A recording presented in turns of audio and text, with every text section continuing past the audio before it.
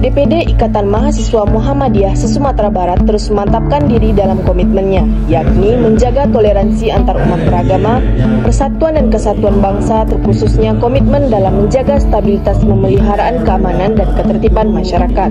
Hal tersebut terwujud dalam materi kegiatan temu kader dan pengurus DPD IMM akhir-akhir ini di ruangan pertemuan Gedung Dakwah Muhammadiyah Kota Padang.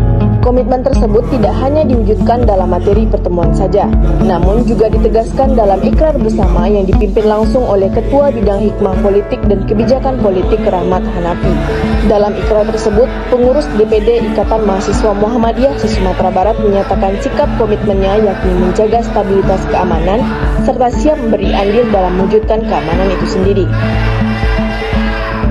Pada kesempatan tersebut, Ketua Bidang Hikmah Politik dan Kebijakan Politik Ikatan Mahasiswa Muhammadiyah Sumatera Barat, Saudara Rahmat Hanafi, juga menyatakan bahwasannya pada agenda temu kader dan pengurus DPD IMM ini tidak hanya bertujuan untuk menyatakan sikap harkam Tipmas, namun di balik itu juga bertujuan untuk melahirkan kaderisasi yang cinta NKRI, Pancasila, serta keamanan harapan kita ke depannya sudah mulai muncul spirit-spirit atau semangat untuk hadir langsung di tengah masyarakat. Jadi organisasi kepemudaan ini tidak sibuk dengan berbicara kaderisasi, tidak sibuk dengan internal saja, tapi memang betul-betul menyentuh masyarakat. Ini salah satu bentuk dari itikat baik kita dan kemudian salah satu amanah dari ideologi kita yaitu tentang humanitas. Selanjutnya, Ikatan Mahasiswa Muhammadiyah Sumatera Barat pada sisi lain juga melakukan sosialisasi Harkam Tipmas serta himbauan kepada seluruh masyarakat pengguna jalan untuk bersama-sama IMM